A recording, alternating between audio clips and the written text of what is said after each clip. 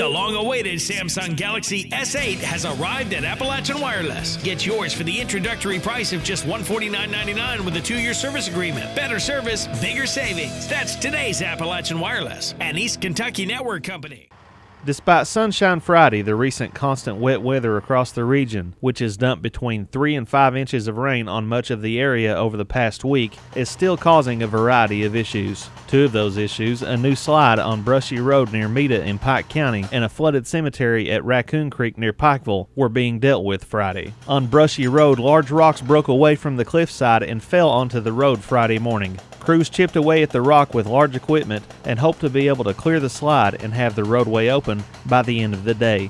At Raccoon Creek, some grave sites at a cemetery just off Raccoon Road were submerged due to runoff flooding a small creek. The situation is difficult for those wishing to visit the graves of loved ones over the Memorial Day weekend. The high water has largely cut off access to the cemetery.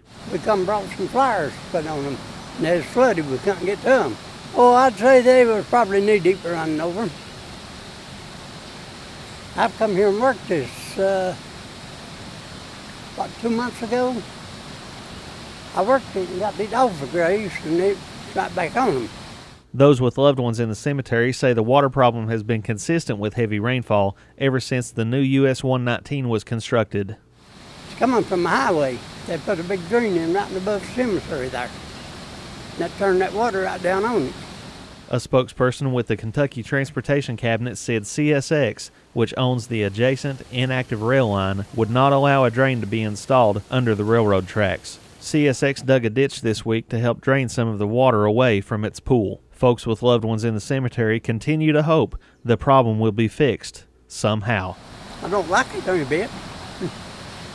so Something needs to be done. something has to be done to it. I don't know who's responsible, but somebody needs to do something. In Pike County, Chris Anderson, EKB News.